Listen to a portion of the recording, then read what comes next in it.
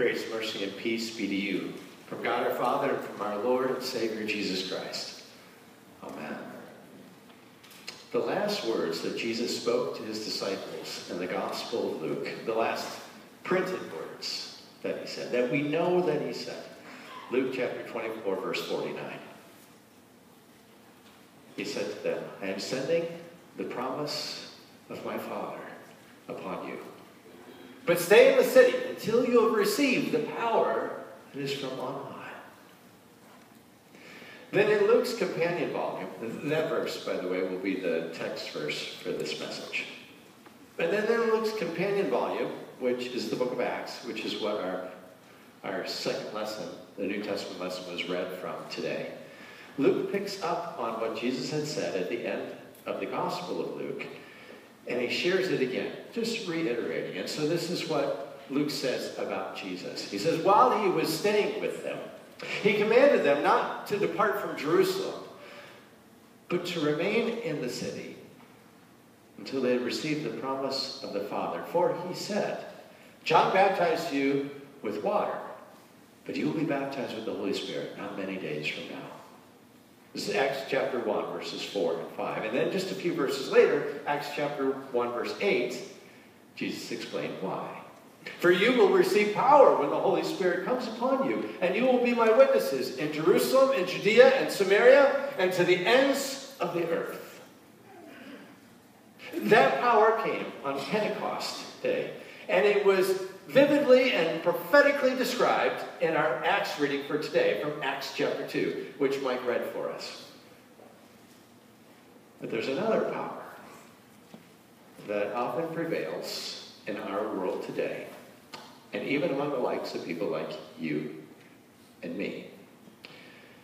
It's often called the power of public opinion. This is the power that tailors fashion trends. It's the power that crafts cultural norms. It's the power that lands best-selling literature. It's the power that spawns consumer spending. It's the power that maps out marketing campaigns, that elevates elected officials, that validates prevailing values.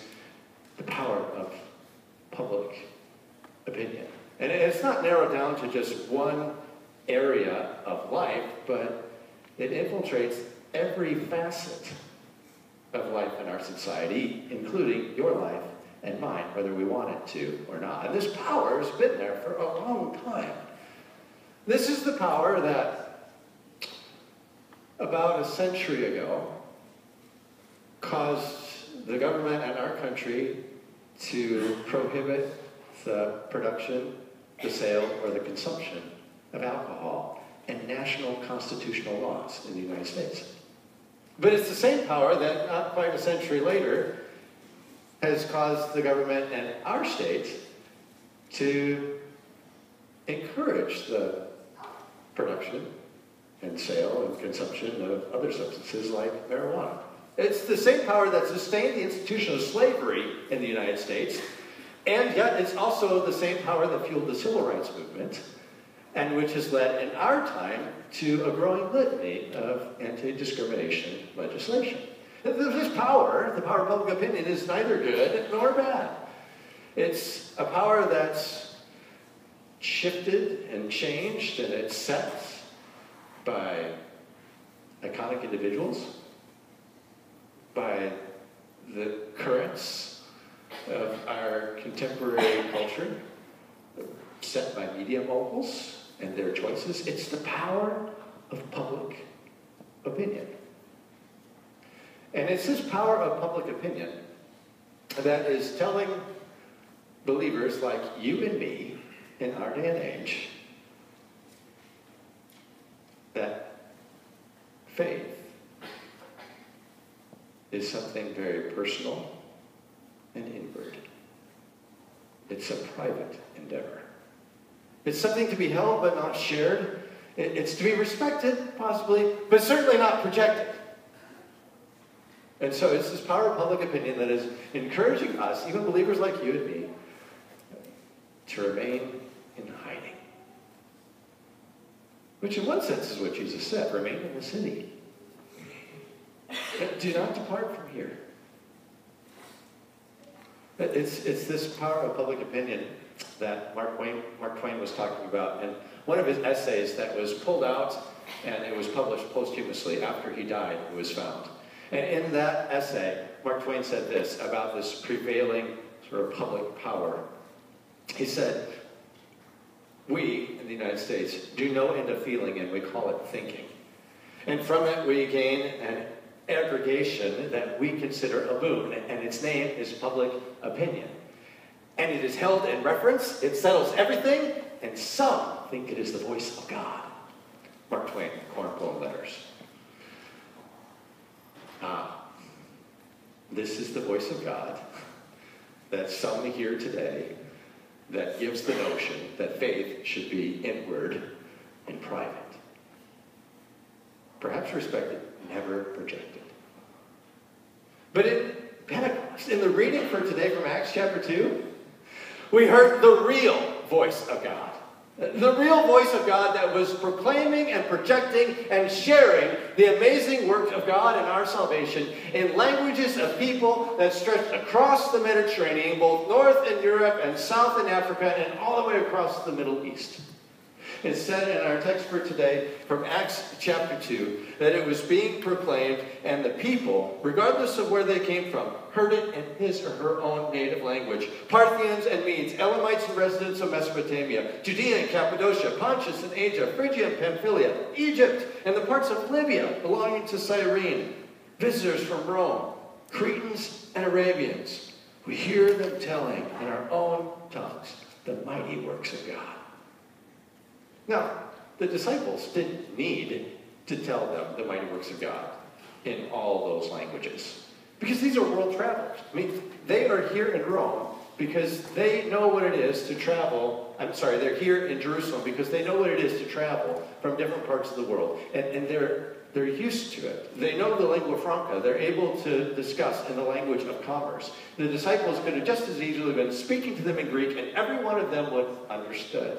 Except there's a phenomenon that happens when you speak to somebody in their own native language. It stirs up things in them that could not be reached, stirs up areas of their heart that are untouched by the pressure of public opinion.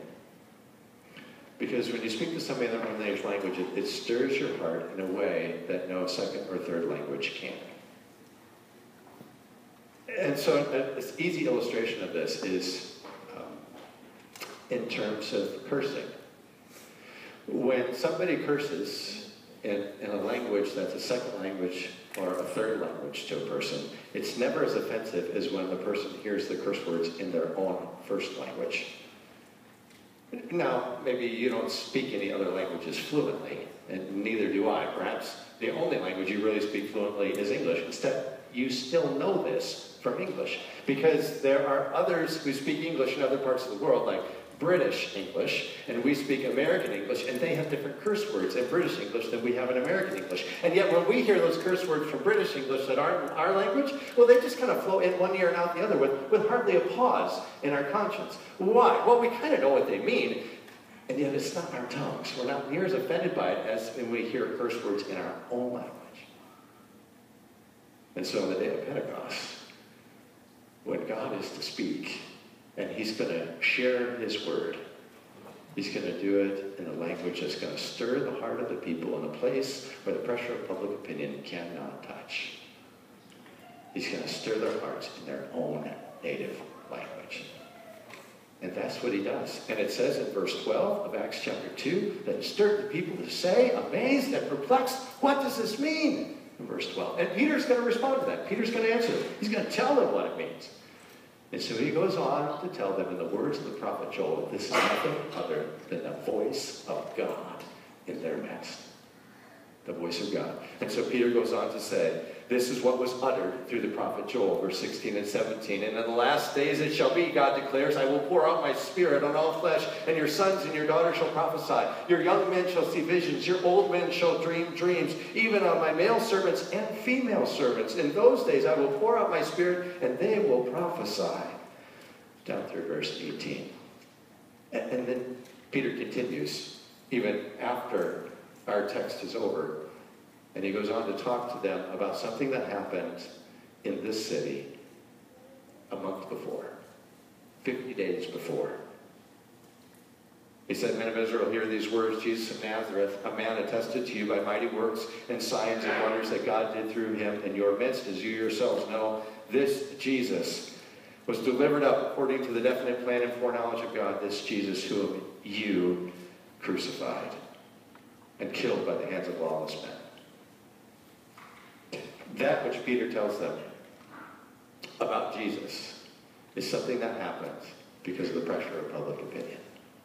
See, 50 days ago, the pressure of public opinion led to those events of the crucifixion of Jesus.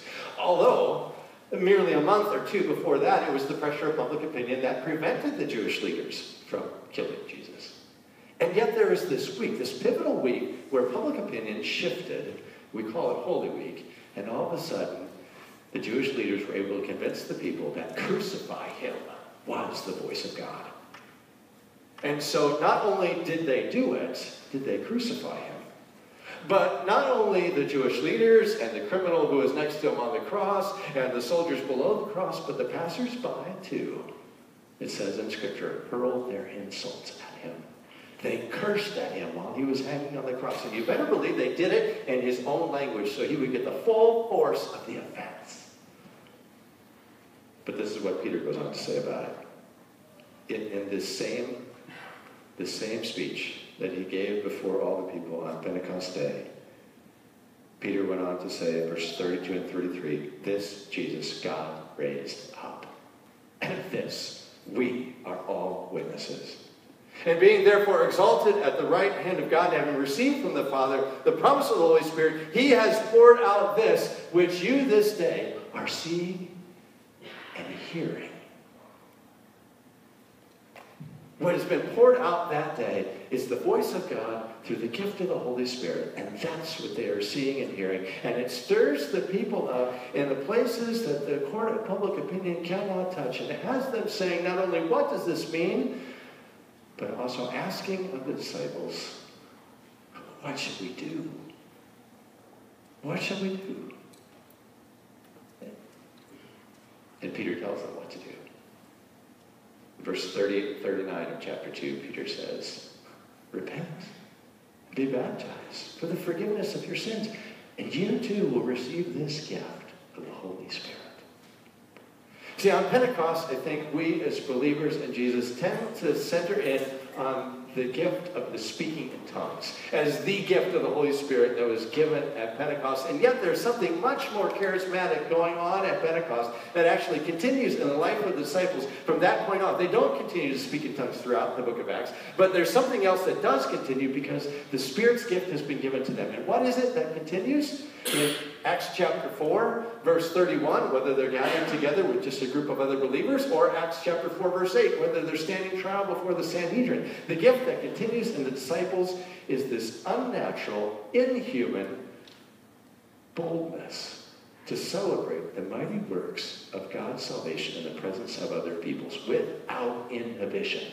Not that they weren't being inhibited. They were. When they stood before the Sanhedrin in Acts chapter 4, the whole council stood against them. The whole court of public opinion was against them and charged them never to speak in the name of Jesus of this salvation again. And yet, Peter said to them in that text, You must be the judge of whether it's right to listen to you or to listen to God. But we cannot but speak of what we have seen and heard.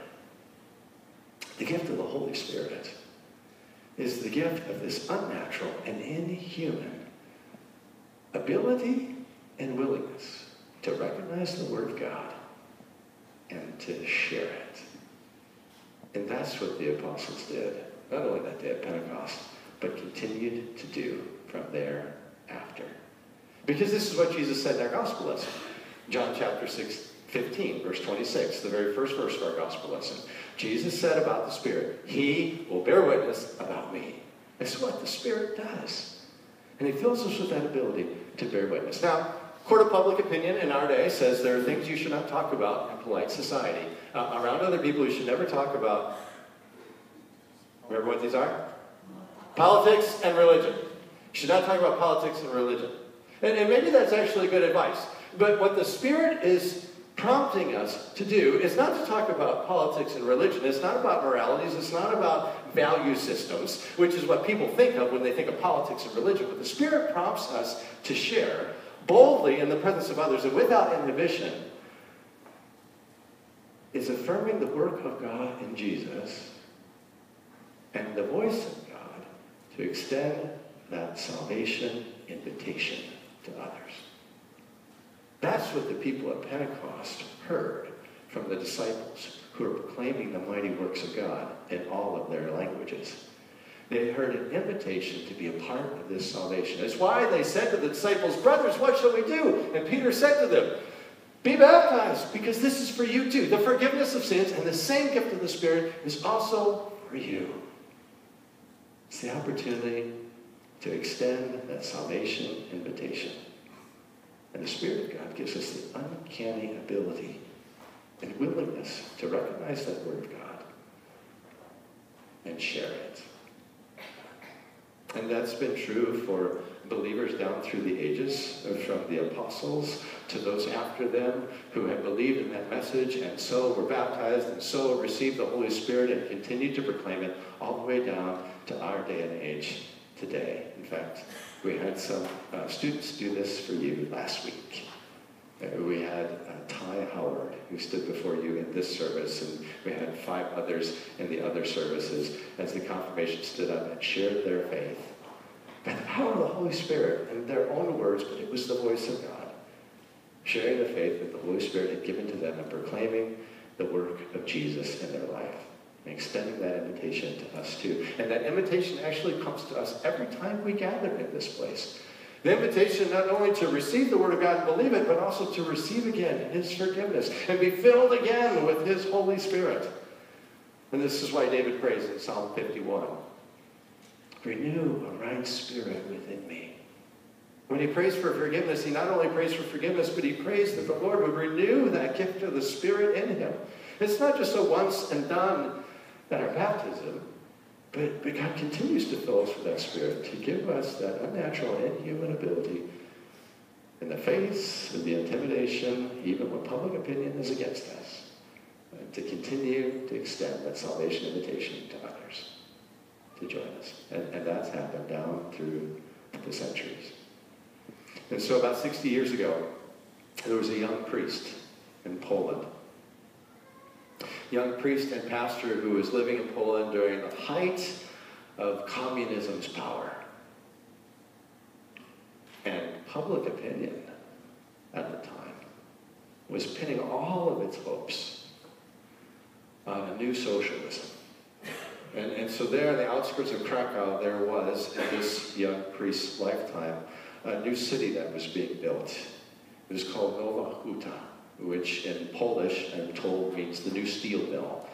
And it was an industrialized city, and it was supposed to be an ideal utopian city, the, the pinnacle of the socialist lifestyle engineering. And so it was engineered to be a place that was without, intentionally without faith centers, without spiritual centers, without churches. Because they were removing that crutch that weak minded individuals used to lean on, and instead the only faith there would be faith in the wonders of modern mankind. And so that was this new city that was being built on the outskirts of Krakow. And about the same time that that was being completed, this young priest and pastor named Karol, that was his given first name, was made bishop in Krakow, the youngest bishop ever in Poland. And the first thing he did when he was made bishop of Krakow, contrary to all popular opinion at the time, he did what was thought unthinkable. And he held an open air worship service on Christmas Eve in the midst of Nowa Huta for anybody who would come. And not only that, he started a campaign of erecting crosses across that faithless city. And within a year after that happened, people of Nowa, the, the believers, or believers who worked there or lived there, who had been in hiding ever since that place was built, began to petition the government for the ability to build a church in the city. And seven years later, the power of public opinion shifted by the work of the Holy Spirit. And government officials in communist Poland actually approved the building of a church, approved permits for the building of a place called Arka Pana in Nowa Huta, which translated in English means the Lord's Ark. It was the first church built in that faithless city outside of Krakow in Poland. It's no wonder that that young priest later on went on to ascend to the highest post in all of his church body. And you know, it seems kind of odd to us that uh, your pastor would be telling you a story about a Roman Catholic Pope on the day of Lutheran confirmation. But you know what? It doesn't matter whether Pope or confirmation student. It's the same Spirit. When the same Spirit is speaking through us and presenting that invitation to salvation in Christ Jesus, it is the Spirit doing the work no matter what your rank or status in the church or, place among God's people. Because that is the power that prevails over the power of this world. It's the one power that prevails even over the power of public opinion. It's the power from on high. And when power is at work in you and me, like it was in our confirmation students last week sharing their faith essays, and that power is at work in them today as next service they stand up here in unison, profess their faith in Jesus who he is. And we pray that that power would continue to speak through them for the rest of their lives, that this would just be a start. And I pray that that witness of theirs to you and me would encourage us to do the same. Because our calling isn't the same necessarily. It doesn't mean we have to do this in, in open air venues of mass worship services. That's not the calling. That's a calling of an apostle or a bishop. But our calling is to do it among neighbors and friends, among family members and coworkers, among kids and grandkids. Our calling is to continue to speak the marvelous works of God for our salvation through the gift of the Spirit in a way uninhibited by the power of public opinion. And we can do that because there is a power in this world that's stronger than the power of public opinion. It is the power from on high. And Pentecost is here, and that power has come. No more hiding. In Jesus' name. Amen.